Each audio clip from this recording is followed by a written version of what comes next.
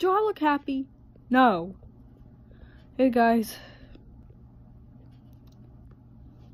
I'm not happy right now because look. I wanted a plane on trains too. Like this World War II plane. The air show. Yeah, I can get it. Because it kept failing and I'm trying to get it. I am so angry right now. I want I wanted that plane for so long and now it's not. I can't get it.